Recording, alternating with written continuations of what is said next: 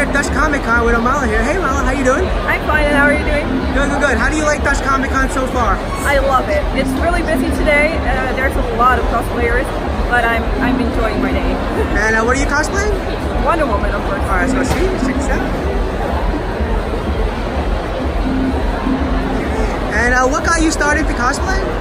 What, I'm sorry? What got you started into cosplaying? Oh, it's um, uh, just visiting a lot of conventions and gathering up the courage to do it myself. Uh-huh.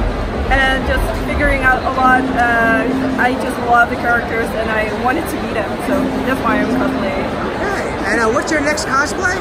My next play, uh, cosplay is Minn-Erva from Captain Marvel. And your next con?